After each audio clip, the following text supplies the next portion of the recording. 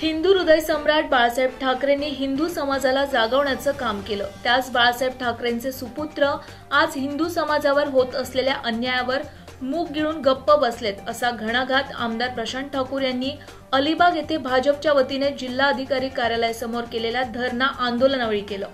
राज्यात मालेगाव अमरावती नांदेड येथे झालेल्या दंगलीची सर्वोच्च न्यायालयाच्या निवृत्त न्यायमूर्तींमार्फत चौकशी करावी दंगल घडवणाऱ्या सूत्रधारांना अटक करा आणि रजा अकादमीवर बंदी घाला. या मागण्यांसाठी सोमवारी भाजपतर्फे अलिबाग येथील रायगड जिल्हाधिकारी कार्यालयासमोर धरणे आंदोलन करण्यात आलं.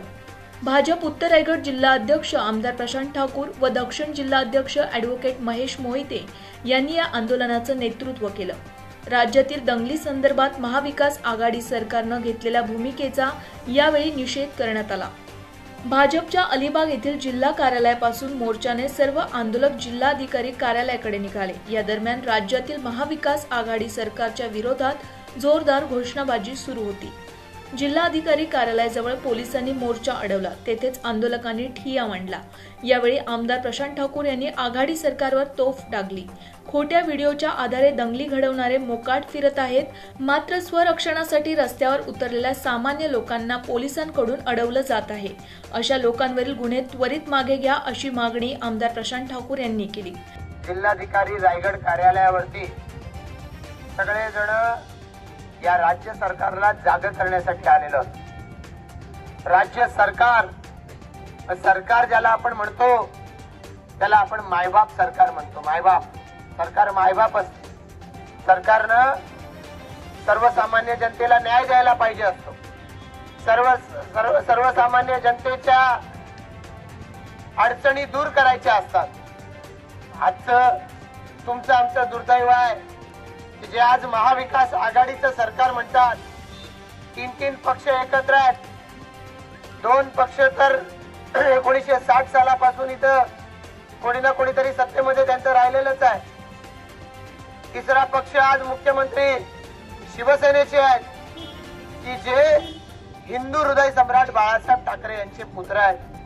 पण शर्मेची आणि दुःखाची बाब ही आहे की बाळासाहेब ठाकरेंनी ज्या हिंदू समाजाला या जागवण्याचं चेतवण्याचं काम केलं त्या बाळासाहेब ठाकरेंचे सुपुत्र आज हिंदू समाजावरती होत असणाऱ्या अन्यायाच्या विरोधामध्ये मूग गिळून गप्प आहेत. आणि सरकारचे ते मुख्यमंत्री आहेत हे तुमचं आमचं दुर्दैव आहे. आणि निश्चितपणानं याचाच धिक्कार करण्यासाठी आज आपण या ठिकाणी एकत्रित जमलेलो आहोत. आमदार रविशेठ पाटील आणि भाजप दक्षिण रायगड जिल्हा अध्यक्ष महेश मोहिते यांनी देखील आघाडी सरकारचा निषेध करीत दंगली घडवणाऱ्यांवर कारवाईची मागणी केली. या दंगली घडवण्याच्या प्रकाराची चौकशी सर्वोच्च न्यायालयाच्या न्यायमूर्तींमार्फत करावी दंगल घडवणाऱ्या सूत्रधारांना व त्यांच्या समर्थकांना अटक करा दंगलीत हात असलेल्या रजा अकादमीवर बंदी घाला संरक्षणासाठी रस्त्यावर उतरलेल्या नागरिकांवरील कारवाई बंद करा भाजप कार्यकर्त्यांवरील पूर्वग्रहदूषित कारवाई थांबवावी आणि त्यांच्या विरोधात दाखल केलेले गुन्हे मागे घ्यावेत अशा मागण्या यावेळी करण्यात आल्या.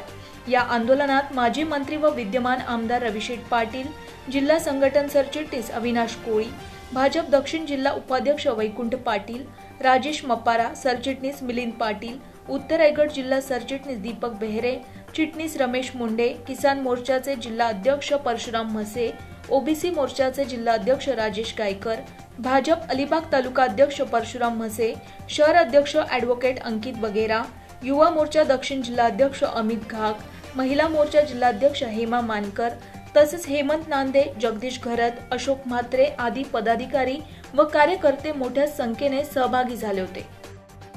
महाराष्ट्रामध्ये हो की चूक करण्याची कुणाची हिंमत होत नव्हती. अशा पद्धतीचं सरकार आदरणीय देवेंद्र फडणवीस साहेबांच्या नेतृत्वाखाली त्या ठिकाणी चाललं. कुठल्याही समाजावरती अन्याय करण्याची धमक त्या त्यावेळी होत नव्हती. महिला सुरक्षित होत्या. कुठल्याही समाजाच्या घटकावरती त्या ठिकाणी अन्याय झाला नाही.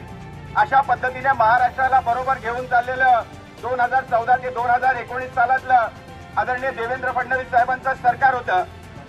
आणि दोन हजार एकोणीस साली आपल्या सगळ्यांनाच माहिती आहे की जनतेच्या माध्यमातून आदरणीय देवेंद्र फडणवीस साहेब पुन्हा एकदा मुख्यमंत्री झाले पाहिजे अशा पद्धतीचा कौल दिलेला असताना देखील त्या ठिकाणी शिवसेना आणि भारतीय जनता पार्टी एकत्रित येऊन सरकार स्थापन केलं पाहिजे अशी लोकांच्या मनातली इच्छा असताना देखील त्या ठिकाणी विश्वासघातातनं निर्माण झालेलं सरकार हे जनतेवरती किती अन्याय करू शकतं जनतेचा किती विश्वासघात करू शकतं हे आपण सगळे आज पाहत आहोत. पनवेल आणि नवी मुंबईच्या ताज्या घडामोडींसाठी मल्हार टीव्ही न्यूज सबस्क्राईब करा आणि बेल आयकॉन दाबून रहा अपडेट.